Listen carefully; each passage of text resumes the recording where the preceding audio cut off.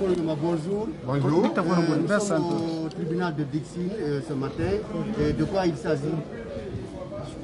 Oui, euh, le président Selou Dalen Diallo a cru devoir euh, assigner le patrimoine bâti public représenté par l'agent judiciaire de l'État euh, devant le juge des référés pour euh, euh, obtenir l'arrêt de l'exécution de la sommation qu'il a reçue de la Direction nationale du patrimoine bâti relative euh, à son domicile, si à Dixine.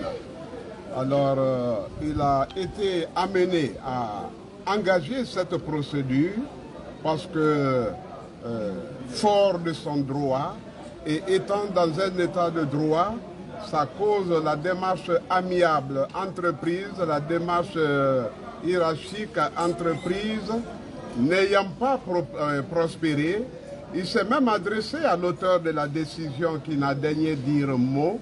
Et finalement il s'est tourné vers euh, la justice pour le succès de ses prétentions, pour son rétablissement dans les droits qui sont les siens, parce que son occupation est paisible, elle est contenue, elle est, elle est publique et elle a duré euh, plus d'une décennie, disons 17 années d'occupation des lieux et cela de manière légale.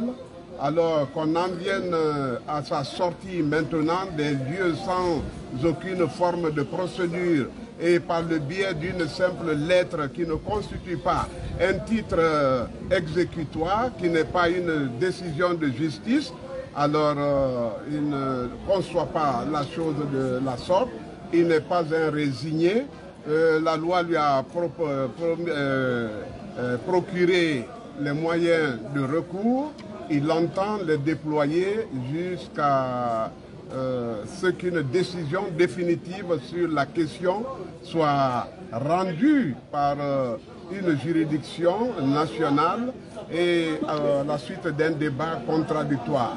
Donc le but de cette rencontre, c'était de faire arrêter les effets euh, nocifs, les, effets dégradants, euh, les effets euh, malveillants de cette lettre. Il s'agit d'un sujet de droit, de patrimoine bâti public qui revendique une propriété au même titre que M. Selou Dalen Diallo lui-même. Alors, euh, un plaideur ne peut pas expulser de son propre gré, de son propre chef, de sa propre initiative, parce qu'il est un sujet de droit public, parce que des décisions de l'État, euh, l'État des décisions d'action d'office et des décisions exécutoires, que sur ce simple principe qu'on le sorte de ces lieux mani militari de façon humiliante, sans aucune contrepartie, alors euh, sincèrement, euh, il s'en plaint et je crois que l'opinion elle-même euh, sait qu'il s'agit d'une démarche erronée, une démarche euh, illégale, une démarche non procédurale et que toutes les expulsions telles qu'elles ont été par le passé et celles qui, vont, qui, menacent d'intervenir sont faites en violation manifeste de la loi, de la procédure, des règles de procédure, de la violation de, euh, de choses, de droits de propriété consacrés par les chartes, par, toutes, par tous les instruments juridiques nationaux et internationaux. Ok, Alors, maître, ok, maître, aujourd'hui, vous étiez devant euh, le juge de référé du tribunal. Et de quoi, en tout cas, qu'est-ce qui a été? Euh, effectivement, euh, les hostilités ont été ouvertes, effectivement, et l'État euh, a comparu par le moyen de ses avocats, et d'ailleurs en nombre. Euh, il a- ils ont sollicité, l'État guinéen a sollicité un renvoi de cette affaire pour lui permettre euh, de répliquer à l'assignation aux pièces produites euh, par le président Célou Dalin Diallo. Et vu l'urgence, la sérénité qu'il y a, il s'agit d'une assignation d'air ailleurs. Euh, les avocats ont jugé que euh, le temps était très bref pour euh, qu'ils puissent euh, vraiment répondre pièce par pièce document produit par le président. L'affaire donc a été renvoyée au vendredi 25 pour la suite des débats. Oui, maître, Yomba, s'il vous plaît, quelles sont les pièces que vous, vous avez déposées pour faire valoir le droit de M. Dalen Diallo euh, Il détient les titres de propriété. Il a, fait, il a déposé une demande en vue de l'attribution à son profit de ce terrain-ci euh, à Dixine. Euh, et il y a eu aussi que le patrimoine bâti public lui-même a reçu copie du chèque. Il y a euh, comme on appelle, le prêt bancaire que M.